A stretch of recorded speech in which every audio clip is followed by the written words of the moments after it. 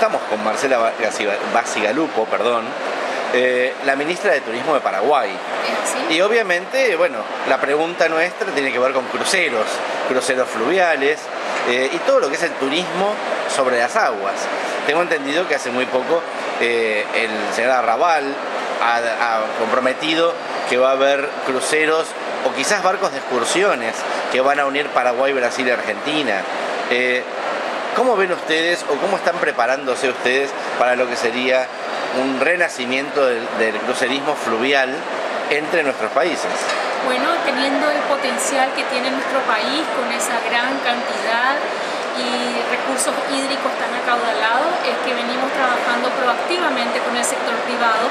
Alejandro Raval, eh, más allá de, ser un, gran empresario, es un aliado estratégico y estamos construyendo los circuitos fluviales turísticos para captar y extender eh, la visita y hacerla más placentera a todos esos turistas que buscan Argentina y Brasil en zona fronteriza y que puedan pasar a Paraguay a conocer productos turísticos que ofrezcan la variedad justamente del atractivo turístico que la región.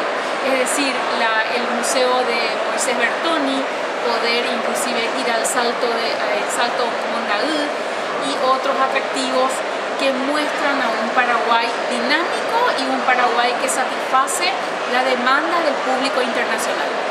Usted me decía que estaban generando algún tipo de reglamentación o algún tipo de disposición para favorecer a los armadores que quieran navegar con cruceros turísticos, cruceros por ahí que vengan desde lejos, eh, en las aguas paraguayas. ¿Qué tipo de, disposiciones estaba hablando? Sí, después de un tiempo de trabajar interinstitucionalmente hemos puesto a punto, se podría decir, la normativa que rige la actividad. La normativa eh, no solamente que busca la seguridad de los turistas a bordo, sino que también buscan la seguridad de los empresarios a la hora no solamente de fabricar embarcaciones, sino de eh, poder eh, poner eh, a punto la, actividad fluvial, que hasta ahora con tantos recursos como mencionábamos, con tanto potencial, no podíamos salir a conquistar a un público inversionista extranjero y poder decir, véngase a Paraguay a construir este producto turístico en torno a este recurso eh, tan poderoso que es el agua. Paraguay es sinónimo del agua a nivel internacional, que el agua no esté presente en las embarcaciones, perdón, en las actividades turísticas era una materia pendiente.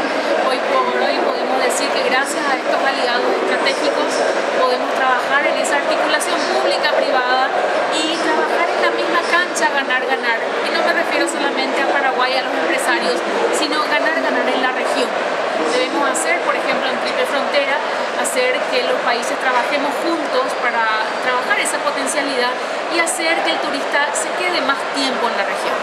Muy bien, muchas gracias por su tiempo y bueno, y esperamos ver muy pronto cruceros fluviales en Paraguay. Ahí estaremos a bordo cruzando el río Paraná que nos une igual a Argentina y a Brasil, entonces disfrutando de esas embarcaciones. Así que me permito pedirte que terminen esto con ese recurso importante que hemos traído a la FIT, el salto mundial presente en la FIT de Argentina. ¡Wow! Muy bien.